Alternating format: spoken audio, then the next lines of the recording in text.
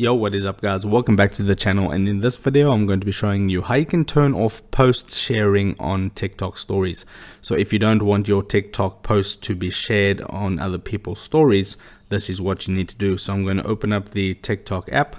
Once you have done that, what you want to do is tap on your profile icon at the bottom right hand corner. Once you're on your profile page, you'll see three horizontal stripes next to the profile view icon on the right. Tap on that and then you want to tap on the second option which is settings and privacy.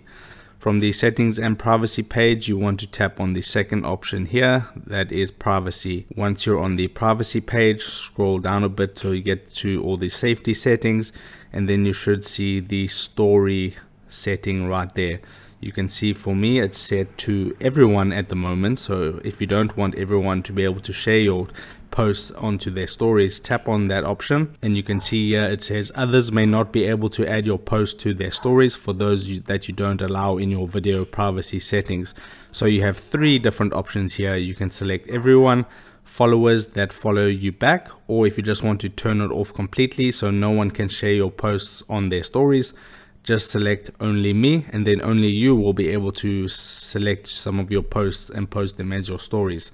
And that's all you need to do. So if this video helped you out don't forget to drop a like onto this video and subscribe for more. And i'll see you in the next video. Take care